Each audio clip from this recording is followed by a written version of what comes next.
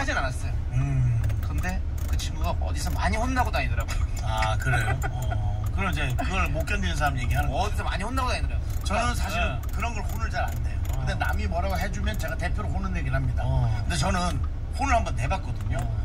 아니 그다음.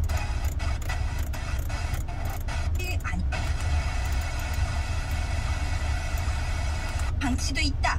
트리. 나는 나무 식물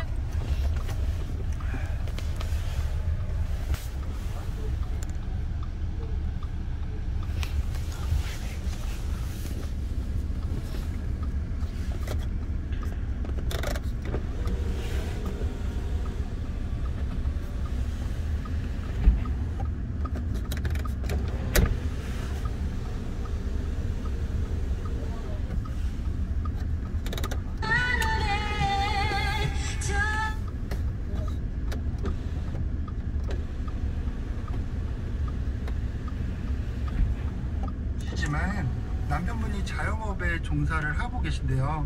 어,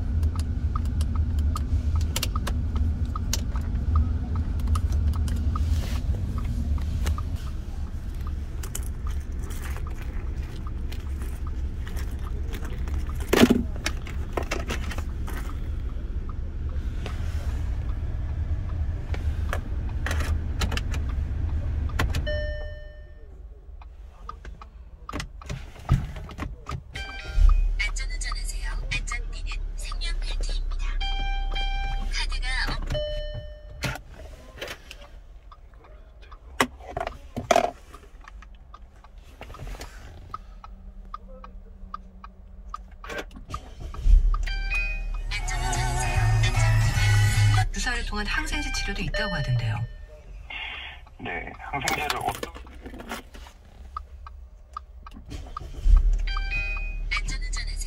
사람이라는 거. 네, 감사합니다. 어, 지금 들어온 사연들을 조금 볼게요. 2868님, 저는 기복 신앙.